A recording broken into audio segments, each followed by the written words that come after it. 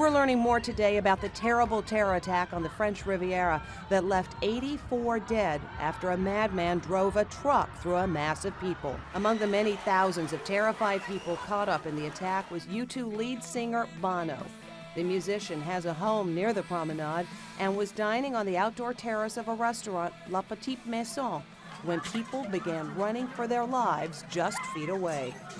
Bono was trapped inside until finally being rescued by armed police.